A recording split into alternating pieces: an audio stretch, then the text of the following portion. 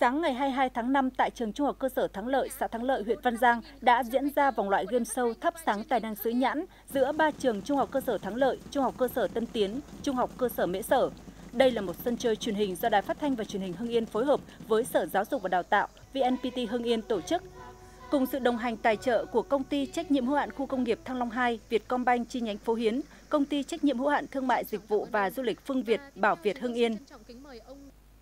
Mỗi trường đều tập hợp gần 50 em học sinh tham dự và gần 200 em học sinh đến cổ vũ. Trải qua 3 nội dung, tài năng xứ nhãn, xứng danh đất học và sân trường sôi động, với sự đua tài sôi nổi ở các nội dung, đặc biệt là phần tài năng xứ nhãn, cả ba trường đều lựa chọn tiết mục đặc sắc như trường Trung học cơ sở Thắng Lợi Văn Giang dàn dựng tiết mục múa Đất Việt tiếng gọi ngàn đời, tạo ấn tượng sự hoành tráng hay tiết mục Một vòng Việt Nam của trường Trung học cơ sở Mễ Sở huyện Văn Giang có sự đầu tư công phu tập luyện của các em học sinh và nhà trường. Kết thúc chương trình, trường Trung học cơ sở Mễ Sở đạt 140 điểm, trường Trung học cơ sở Thắng Lợi đạt 95 điểm, trường Trung học cơ sở Tân Tiến huyện Văn Giang đã dẫn đầu với 145 điểm, tiếp tục tham dự vòng bán kết.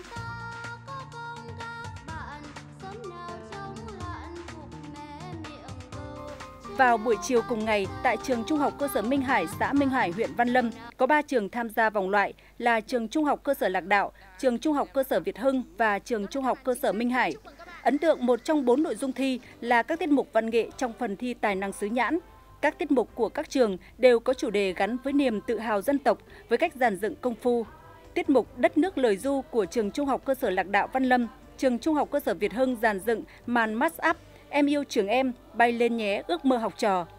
Đặc biệt, trường Trung học cơ sở Minh Hải huyện Văn Lâm giàn dựng hoạt cảnh Hưng Yên ngời sáng, tạo ấn tượng sâu sắc cho khán giả. Kết thúc chương trình, trường Trung học cơ sở Minh Hải đạt số điểm cao nhất với 160 điểm, là trường tiếp tục tham gia vòng bán kết, dự kiến sẽ diễn ra vào tháng 10 năm 2024.